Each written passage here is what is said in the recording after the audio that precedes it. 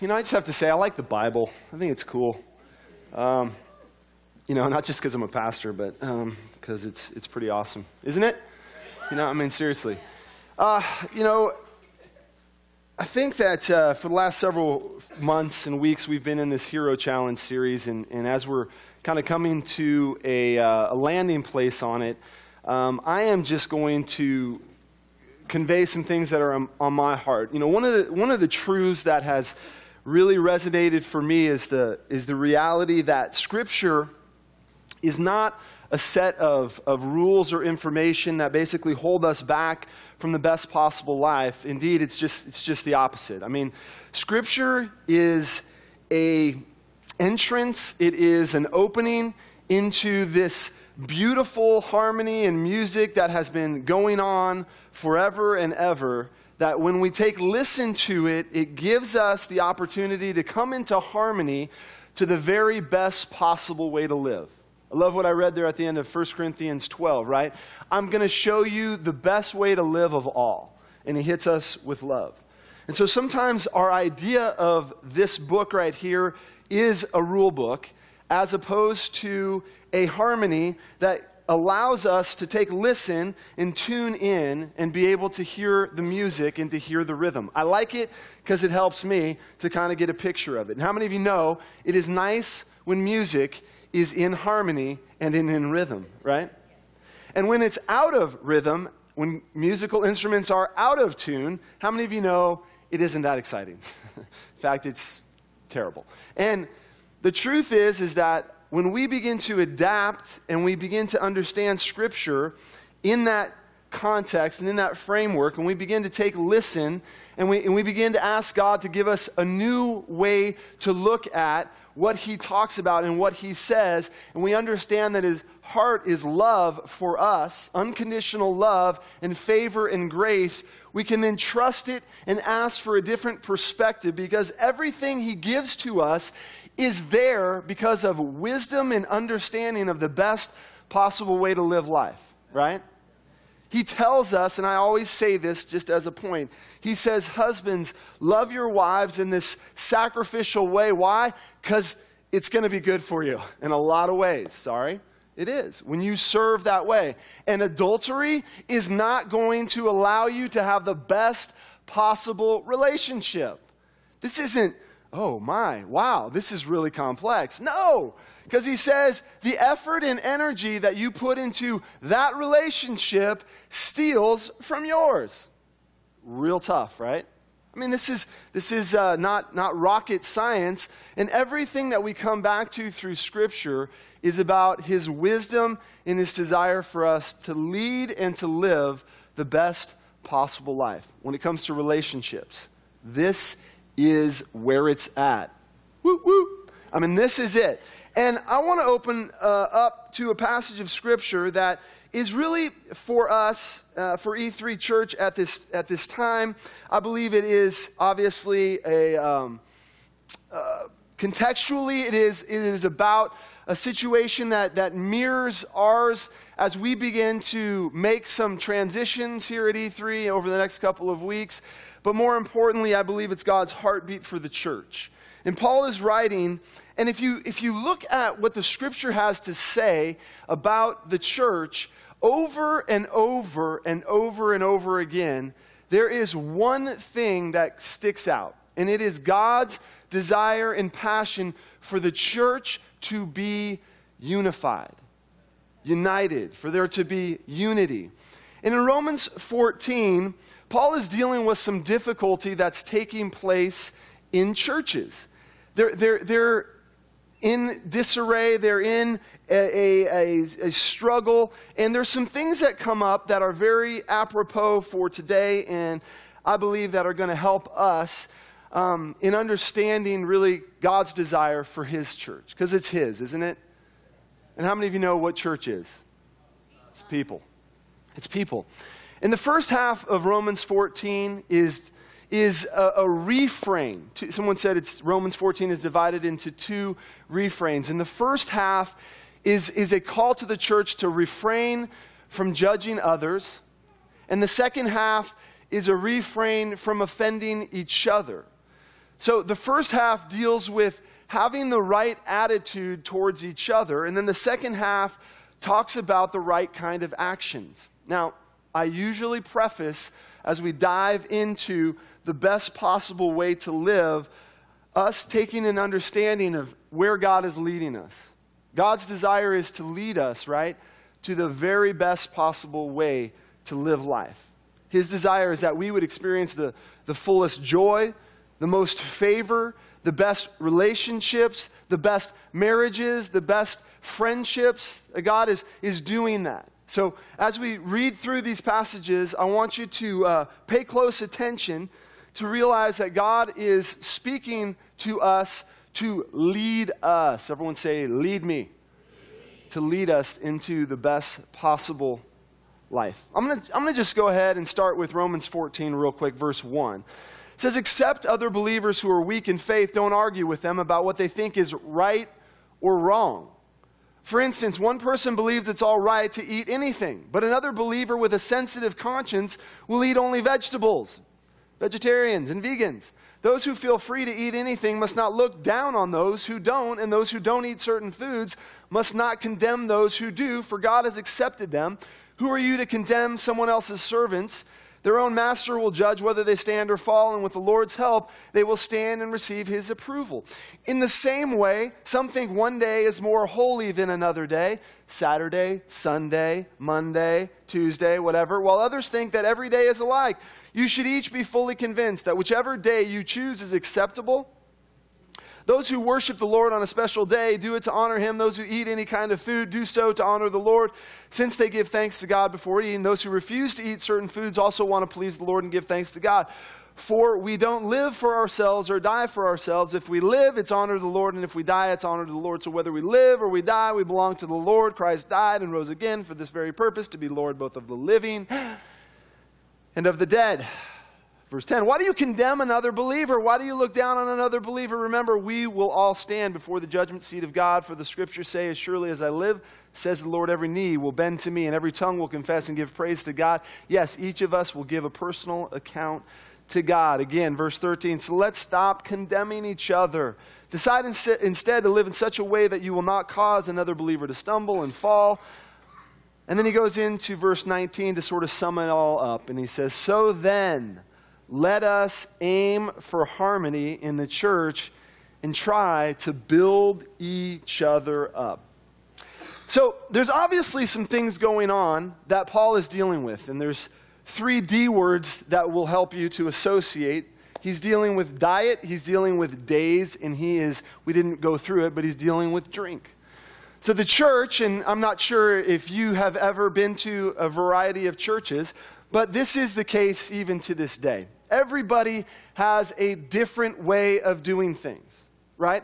And everybody, not, I mean, in their heart, I don't think this is true, but sometimes we have this idea that we want everyone to believe like we believe, to think like we think, and to drink like we drink, don't we? Okay. You admitted it. Some of you, the others, are not sure. But in reality, we really don't want that. We don't want to attend a place where everybody is exactly the same, dresses the same, smells the same, thinks the same, because what ends up happening is we become a church of robots rather than a group of people who have free will and expression in personalities, right? In individual giftings that allow us to be the very church that God came to establish a group of messed up individuals who are surrendered to the love and to the hope of God, who are giving what they have from their hearts. And so Paul gives us some instruction, though. He gives us some instruction. He says, one, one version says, let's concentrate on the things that make for harmony. Everyone say harmony. And, and on the growth of our fellowship together. Another translation says, we must always aim at those things that bring peace and help strengthen one another. In other words, there are certain things that come up that just don't really matter. But he gives us instructions on how to operate and how to act because he knows that what Paul, speaking to this church and the church, he knows that what God desires is a church that is unified and united because when a group of people put down all of the minutiae and get busy on loving people in a real and tangible way, stuff starts to get real in this Whole Foods parking lot. It's a reference to something else, don't worry about it. When a group of people begin to understand the very heartbeat of what the church is and they begin to recognize that, first and foremost, God's desire is that we would begin to build up one another, encourage one another, live our lives, as I've said many times before, as Jesus showed us what communion was, to pour our lives out, to break ourselves, to give ourselves to other people. That's the way that He wants us to live. And so this morning, I want to look at how we're to build each other up. What are some specific ways? And since my kids have uh, been watching Bob the Builder for a very long time, if that will help you to identify, I want you to be Bob the Builder. And I, I don't, I don't just want it for my own kind of uh, my, my own desires or selfishness. I want it because that's what God calls us to do and to be as the church. And the first thing that He gives us to, to allow us to be a builder is He says that you have to be committed to it. Be committed. Be a group of people who are committed to building each other up. That there are going to be moments and opportunities and times to destroy and to tear each other down, to see the things and the items that aren't so wonderful in one another. And he says, No, I want you to build each other up. Can you imagine if we would embrace this? Imagine if, even in, in E3, in this church community, if 30 people for for the next 12 months, every week they wrote a, they wrote a letter to one person just saying, hey, listen, I really appreciate you. I care about you. You mean so much. And, and, and you, you began to get in, in on this. And you not only were participating, but you were a receiver of it. How many of you know that emotionally it would begin to reshape and change and transform. And God says, This is what I want you to be as a church. I want you to build each other up. Look for the opportunities. Now, here's, here's what, where some of us have probably struggled over the years is legalistic Christians. People who follow Jesus and who use rules and regulations to be the shining glory of their success. And we know this uh, that, let me define it. A legalistic Christian is someone who, rather than seeing the relationship as the key element of the Christian life, they see rules and regulations as the key to the Christian life. Right? How many of you have ever experienced that? Now, before you toss yourself out of that mix, it's very easy, and as Paul describes, that those people who were talking about diet and they were talking about days of worship and they were talking about drink, for them to do the exact same thing. Some were, were wanting to worship on Saturday, some on Sunday. And, and at the end, if you read through Romans 14, you know, Paul's like, eh, it's just really not that important, guys. And some, whoa, hold on a second. It's really not that important. Well, we, we do it this way, we do it that way. No, it's not really important. You know what's really important? Is Jesus. Jesus is really important. Love is like really important. But these, these types of things, they're not so important. The Bible tells us that legalistic Christians are weak Christians. Oftentimes, we've missed that. I mean, I used to, when God called me into the ministry, I was like, really, God? Because there are some people that, are, that I look at in, in the scripture and I see as Pharisees and Sadducees, and they just always want to be, they, they almost like they, they fight to be on the platform, and I, I, don't, I don't want that. Like, I don't want to be like that. And God kept speaking to my heart, and I'm like, I'm just not in on this, this type of situation. And, and I was just like, just let them, they're going to win, let them win. And God began to speak, and He said, Brad, you know, if, if we don't have a group of people who understand the reality of my love, where, where will the church be? For far too long, because legalism has seemed stronger the person who says, listen, I, I can quote the, the, entire New Testament. I know Greek, Hebrew. I have plenty of you know, theological degrees and things like that. And we, we felt intimidated. Have you ever felt intimidated by someone and how much activity that they've done that you're like, I just can't live up to it? But deep inside of you beats a heart that cares about, that's compassionate towards others, that it has a heart for mercy and for justice. And you thought to yourself, man, you know, how will, how will I express this because these other people seem to be winning? Well, one thing to understand is that legalistic Christians, they need to grow in the knowledge of the grace of scriptures, right? They need to be able to grow in their understanding. Now, on the other hand, maybe you're not hung up on rules and re- regulations, but maybe you need to grow in love and limit some of the things that you are doing so that it would benefit other people. Because I have been in all of these camps. I've been in the legalistic camp because I joined the church, and, or I should say, got involved in ministry, and I thought all my friends all of a sudden went from being uh, playing uh, baseball and, and uh, a party crowd in high school to then going into uh, bible school and all those people like it was like the same thing you know if, if somebody was, was taking a, taking a, I, yeah, I better watch out taking a hit okay of, of something some substance you know, when I went to Bible school, they were taking a hit of Jesus, and it was not in a good way. I mean this. I mean, like they were they were creating this this fix on on religion, and it wasn't necessarily life giving. Are you with me? So I went through both because it was like positive peer, peer pressure, and maybe one wasn't as destructive as, as the other, but it was still destructive. And so then, then I came out of that to begin to discover who I was in Christ, and I began to discover my freedom and so, people who didn't understand their liberty and the grace of God, I, I, I began to, to shove what my freedom was in their face. Ha! Look at this. I can do whatever I want because Christ has set me free. However, the problem was that that wasn't necessarily the motivation of love as well. And so we start off to build others up by committing to do it the second thing is that we have to see the value of every person. Someone say every. every. I mean, Jesus died for the most crazy person you know and also the most legal, uptight person you know. How many of you know that's true? And how do I know that? Because some of you were in both of those categories. I mean, Jesus, He died for you and He died for them. And when you get to an understanding of that showcasing how valuable people are, then it allows you to recognize how important they are. And it offers you the opportunity to open your heart to love people and ultimately to come back to what God's desire for the church is, which is unity. You with me? Third is by keeping our focus on what's important. Romans 14, 17 says, For the kingdom of God's not a matter of what we eat or drink, but of living a life of goodness and peace and joy in the Holy Spirit. So he says the essence of Christianity is not external, but it's eternal. It's not, it's not external things that make up uh, what we are and what we do, but it's, it's the eternal things. It's about Jesus.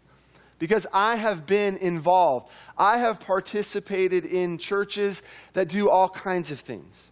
People who have flown banners, bless them, Lord um, people who, who um, feel liberty to uh, have prophecy and speak out during service, those who speak in tongues, those who don't, those who uh, are way into I mean, I mean seriously into premillennial, postmillennial, amillennial, pre-trib, post-trib. I, I mean, I literally, as a young man, was like, all of this stuff, all of this minutia to, to, to, you know, to go over. I like what one person said, I'm a pan millennialist. It'll all pan out in the end. I mean, bottom line is, you know, I avail myself to the fact that no man knows the day or the hour, and I just would rather not spend my time in a conversation eh, where, where it just goes round and round. But the truth is, is that people have all kinds of backgrounds and views. And, and what is so great about the scripture is that it, it, it cuts right to the heart. It shows us what's important, what God desires, that it's not about that. If you want to wear yellow shoes on Sunday, go for it. Wear, wear your yellow shoes. If you wear, want to wear a hoodie, if you want to wear a suit, if you want to wear a clown outfit, great. I don't care. If you want to do triple backflips, as long as it doesn't disrupt everybody, okay, don't do the triple backflips, but you know, whatever. Mean, I've traveled all over the world. I've, I've, and this will be new for some of you. I've been to churches in South America where people talk about how their mouths were filled with gold. Neat. I mean, I, I have not experienced that, nor really, it, it, that may shock some of you, like, or some of you may be like, yep, yep, my mouth filled with gold. Awesome. Uh, I've been to churches with rivers. I've been to churches where they drink from Joel's place. I have been places where they laugh where they do triple somersaults. Great.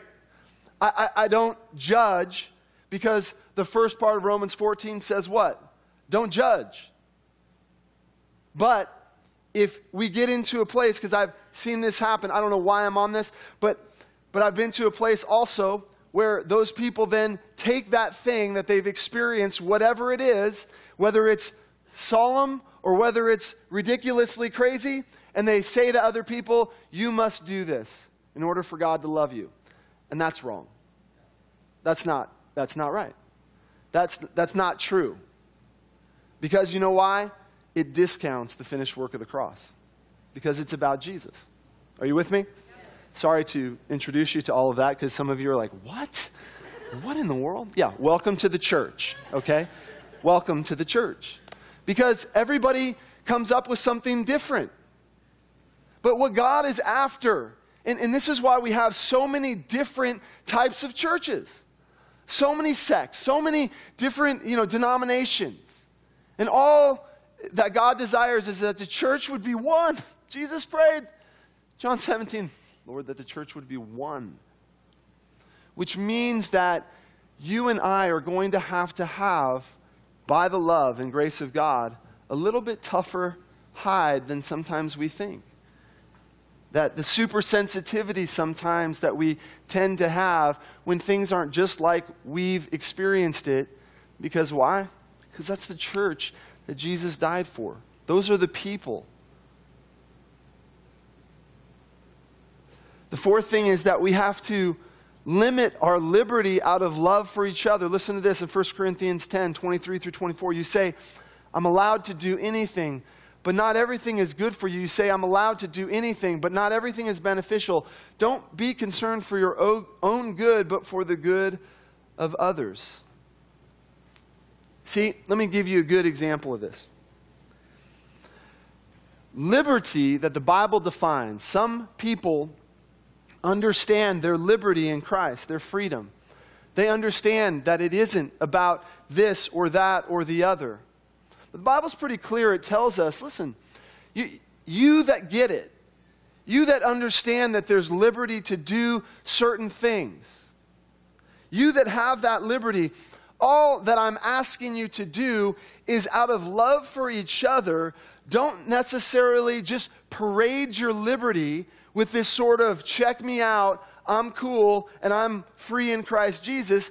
Don't do that because you don't know how it affects other people. Those people might be struggling and you don't know it. So if it causes distress or it causes destruction in others, don't just do it because that's a mark of maturity.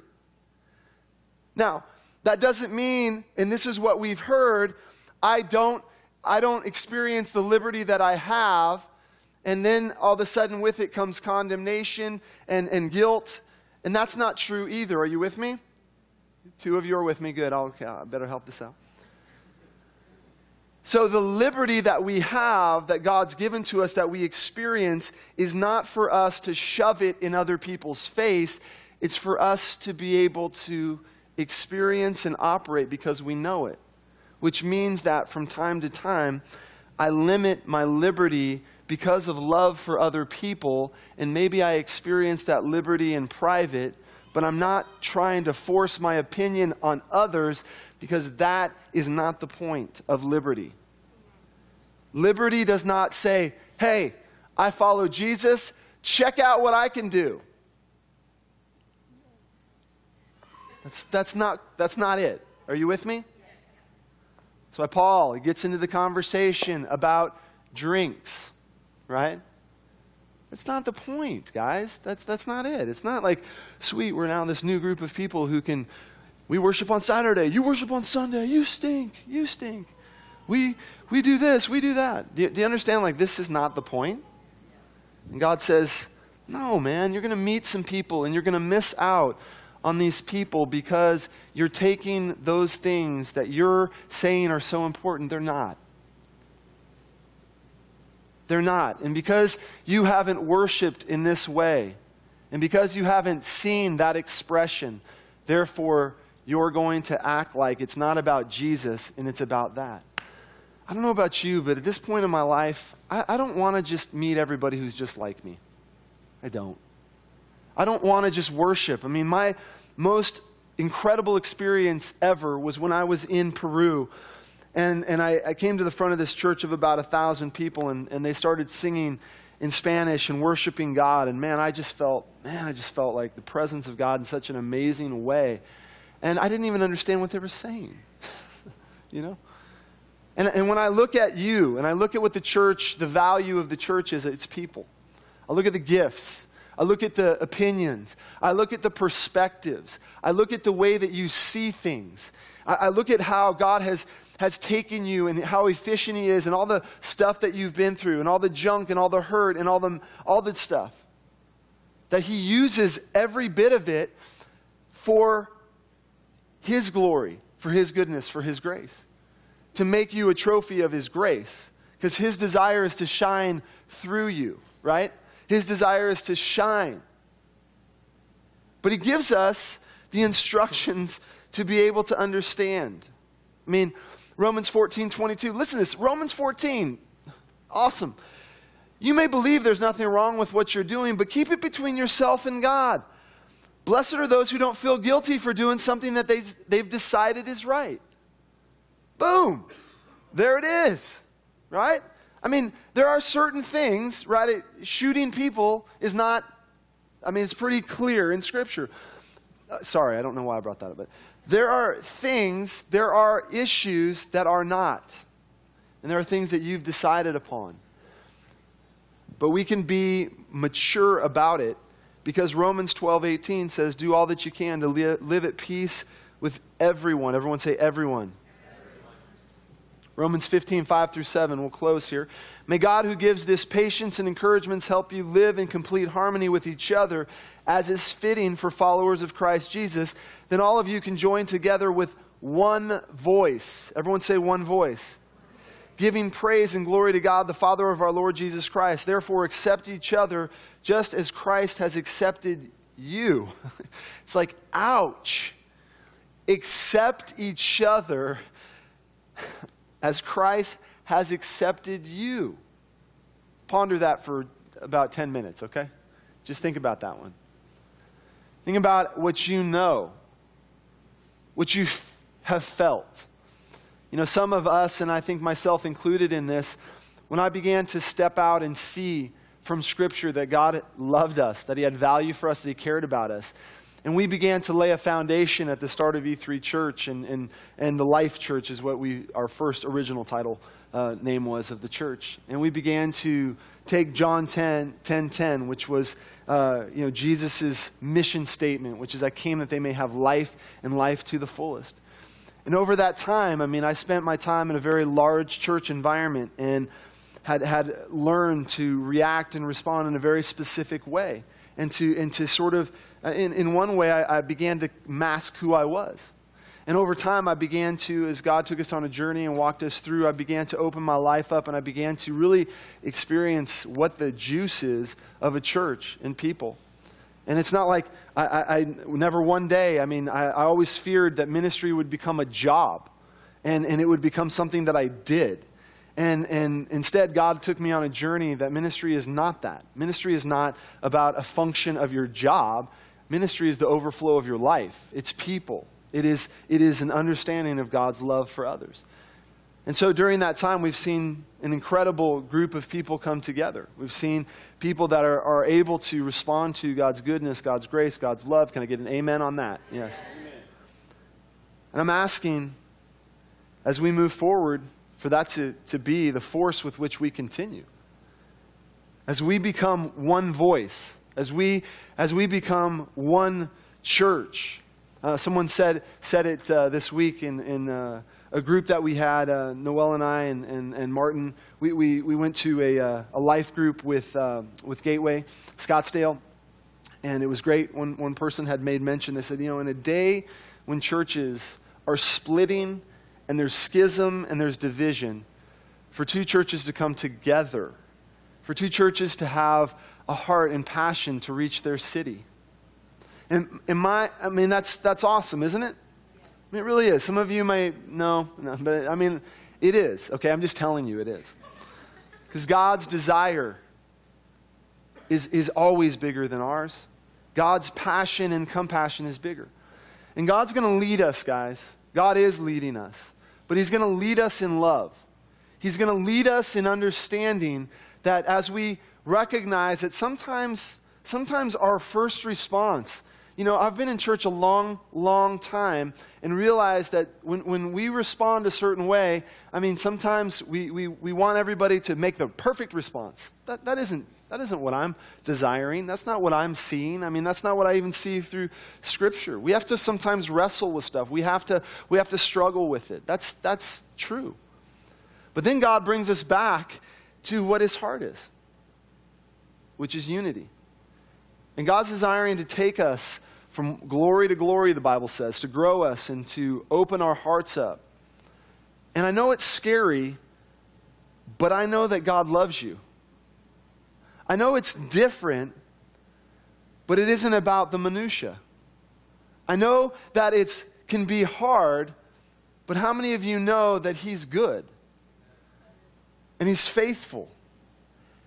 And all that I would ask because I am not somebody who desires to control or make or push or force, is that you give God the opportunity to be able to move and for you to be able to see what He has in store for us. Because His responsibility is strategically positioning you and I for the maximum fulfillment of what God has for our lives. That is what he wants to do. And it means that you and I are stepping into maturity. It means that you and I are going to open up our lives to, to situations that are unfamiliar, but allow us to respond in love. It means that just because we have freedom in liberty, that we recognize that because of it, and because of what we know is true, we hold it. But we don't get into an arena where we parade it and shove it in other people's face to force that thing. Are you with me? Right? I mean, does that, that's not of benefit. But we love people. Now, I said this to, uh, to some, some people this week. I was like, you know what?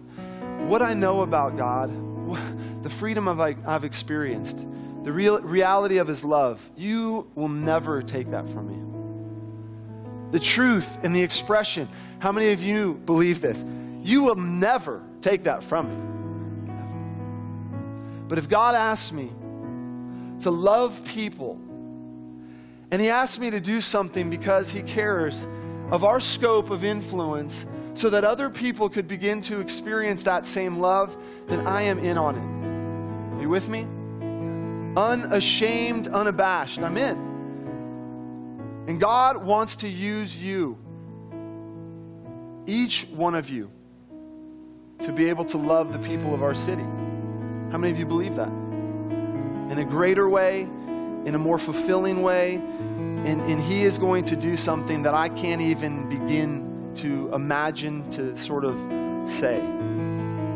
But I know that He's doing it. Amen? Bow your head, close your eyes with me this morning.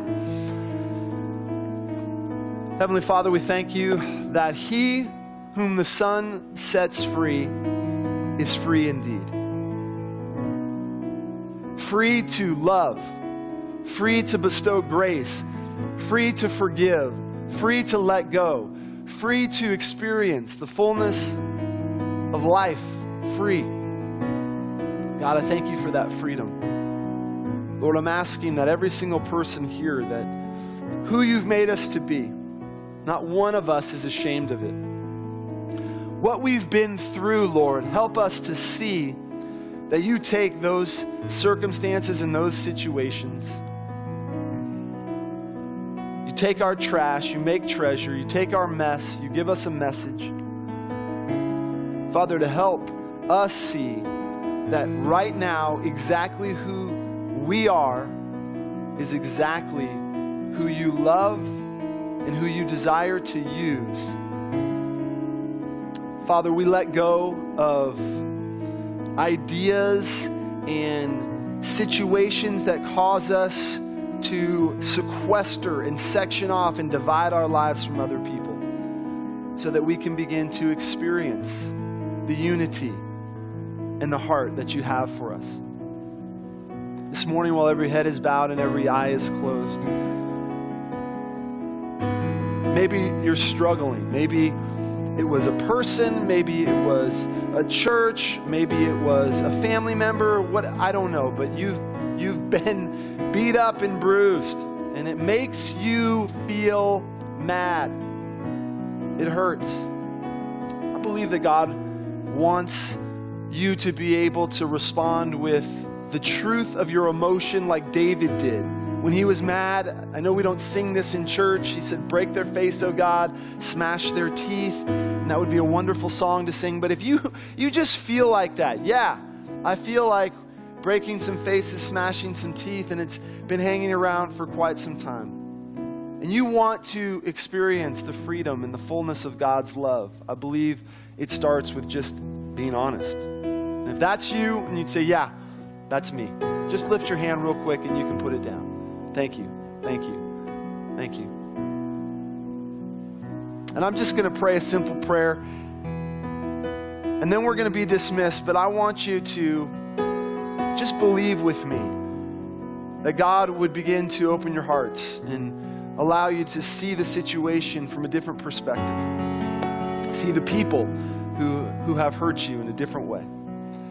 Father, I thank you for every single person that is here. God, for circumstances and situations and hurt and pain, things that are unfair, things that should not have gone down like they've gone down, Father. I'm, I'm just asking that you would begin to allow us to see those people like you do.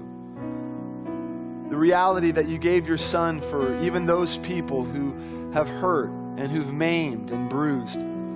God, I'm asking that you would lift up our eyes to see the situation anew, to free us from the prison of the past hurts and pain so that we could begin to give and to let our hearts and our love and our life shine. I know the enemy has tried to work and hold people back, good people who, who are compassionate and full of mercy. We come against anything that the enemy has tried to bring against any person in here, Father. And we uphold the reality of your love and your goodness and your grace. In Jesus' name, and everyone said, Amen. This morning, I'm, I'm just going to, we're going to, there it is. Just going to let you hear. I think it'd be nice. Invite Cody to come on up here, and he is just going to break it down for us. And I want you to just open up your hearts to just listen to the, to the words that he's going to sing. And uh, then we'll close out.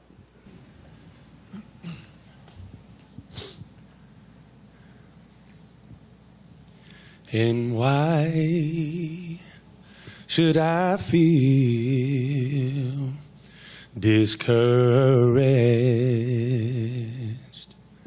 And why do the shadows come? Cause when Jesus is my fortune,